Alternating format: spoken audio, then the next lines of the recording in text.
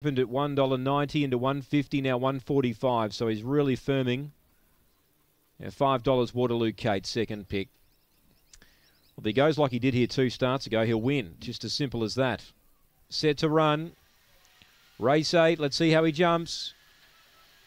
Away, time's right, began okay, he's mustering. Fabra Oak's got speed, time's right, now hustling through. He gets to second, wants to get off the rail, and Fabra Oak crosses, but time's right's coming now. He's starting to have a look and he runs to the lead. Third placing Waterloo Kate, four lengths away. Then Silver Timothy. Faves off and gone mid race. Then Pawsome Nelly. Striking Jewel. Well back Big Buzz. Emily Storm. Times Rights in front. Uh, running on Waterloo Kate. Gets within three. Runs on strongly. Times Rights in front. He'd had enough, but he got the job done. Waterloo Kate second. Pawsome Nelly in a photo with Fabra Oak for third and fourth. Then Silver Timothy striking Jewel. Big Buzz. Emily Storm. And the time here is 30.05 for the fave. Times right. Well, he was good, but uh, Waterloo Kate was probably just as good. She's taken a lot of ground off him.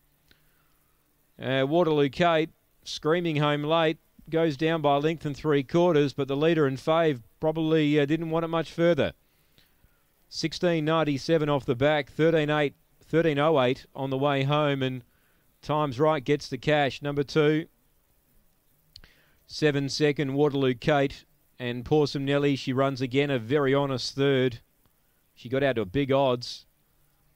And she's paid 260 on the place. Eight fourth Fabra Oak, who crossed and led early, but in doing so, certainly enabled Times Right to get into clear galloping space. Five gets fifth, Silver Timothy.